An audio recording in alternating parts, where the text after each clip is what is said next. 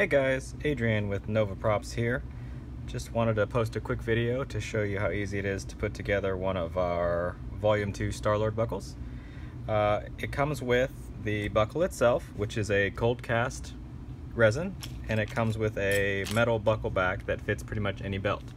So I'm going to show you how to polish it, how to detail it, and then how to attach the buckle to the back, and you're ready to go. So when you get the buckle, I'm actually going to include just a little bit of this 4-0 steel wool. It's super fine.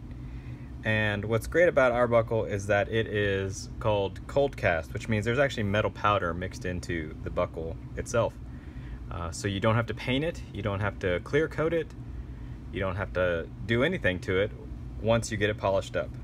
And as you can see here, it's pretty dull right now, uh, but we're gonna fix that with just a little bit of steel wool.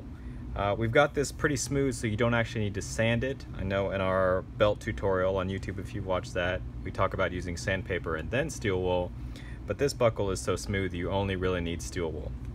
So as you can see, it looks just kind of like gray flat plastic right now, but with just a little bit of polishing, hopefully that shows on camera there, you can start to see the metal shine through.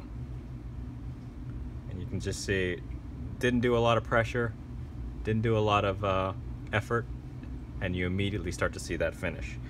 Now it's important to know that this is a very thin layer of metal powder under the plastic. If you polish this too much, you will actually wear through the metal layer to the plastic. And you'll know you've done that if the plastic goes from looking like metal to looking just like gray plastic. And if you've done that, unfortunately, there's nothing you really can do about it to bring that metal back.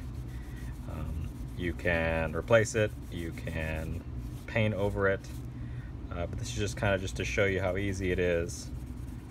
I mean, I've been doing this for about 15 seconds while I talk to you, and it is polished. It's pretty remarkable stuff.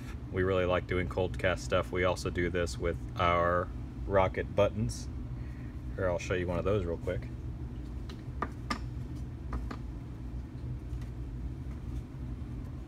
Same thing, plastic, just a little bit of polish. And it's metal. Really easy, quick to do, you're ready to go. So once this is all polished up, and I'll, I would go around the edges too, and bring some of the metal out there. Be careful when you're doing this that you don't focus too hard on the edges. You do want to have them shine up a little bit, but if you do it too much, you'll, again, wear through that metal layer, and it'll just look like gray plastic on the edges. So just take it easy. It doesn't take a lot of effort, and you get that polish pretty quickly. That's pretty much all there is to it. Now, the next thing that I like to do is I want to add a little bit of black to the middle. Uh, in doing so, it just makes that line look like a real seam in the metal belt buckle. So to do that, I use a flat black acrylic paint. Now this is Angelus leather paint. Great stuff if you've never heard of Angelus. Uh, you can buy so many different colors. It's really great acrylic paint. It works in airbrushes, works on brushes. Um, excellent, I can't recommend enough. Comes in metallics too if you're into painting things in metallic. So what I'm gonna do, just get rid of this because I don't want any of the dust in the paint. Shake that up. And I use a fine tip brush like this one.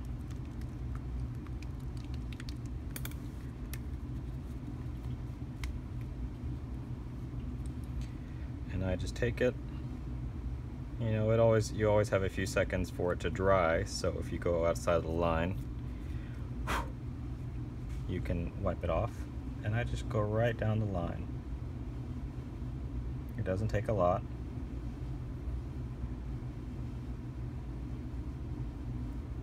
I need a little more.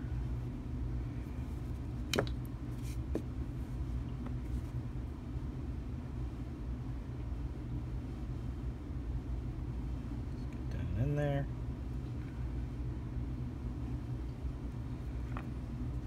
Then I will just take a damp paper towel, just a paper towel,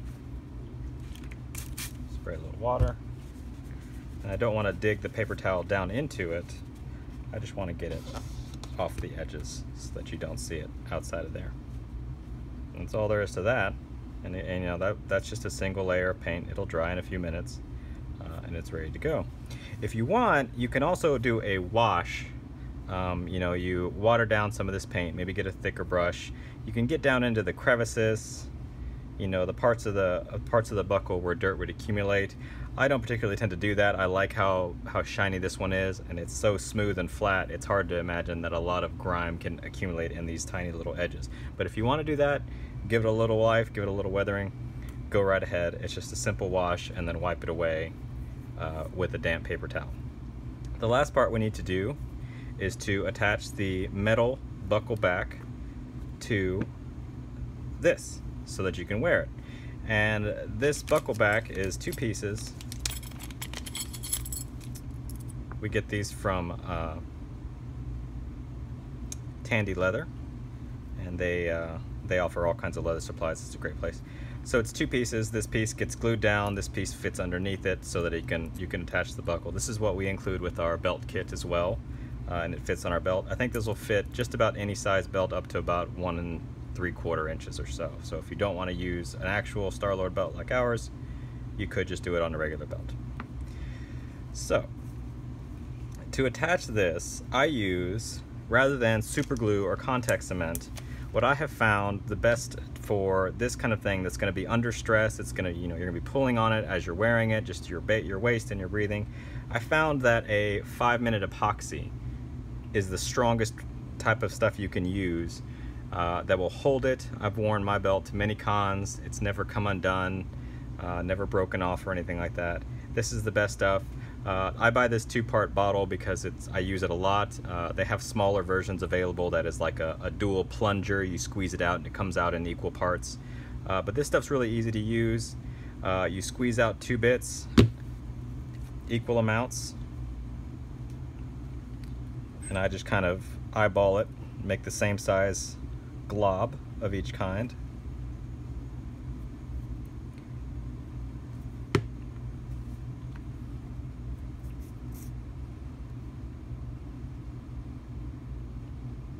Looks like it's more than I need, but that's okay.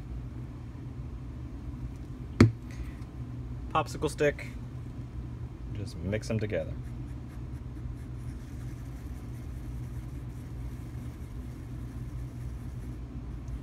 Now, if you want to, before you place the buckle, if you want to put it on there and trace where you want to place the buckle to help guide yourself, you can do that. I've put together I don't even know, hundreds of these buckles, so I'm pretty good at eyeballing it at this point.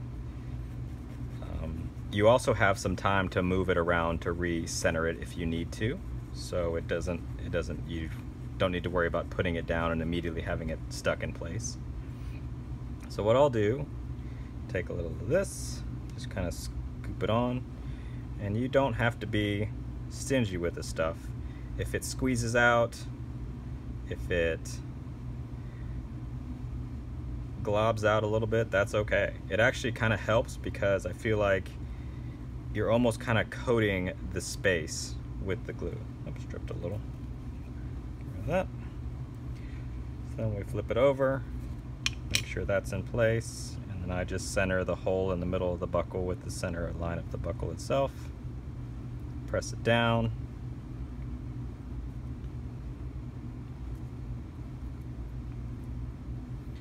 I'll add just a little more.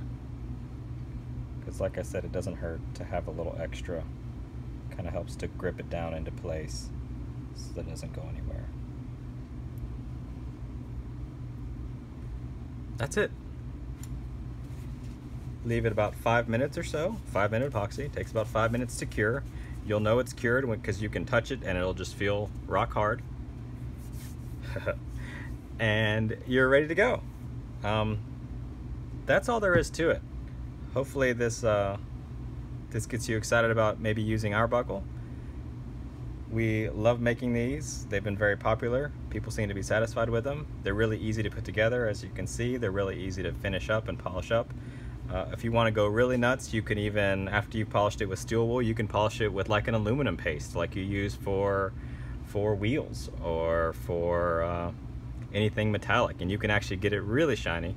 Uh, again, just don't overdo it because you can weather through the middle. That's it. Flip it over one more time so you guys can see. And this is Adrian from Nova Props. Thanks, you guys.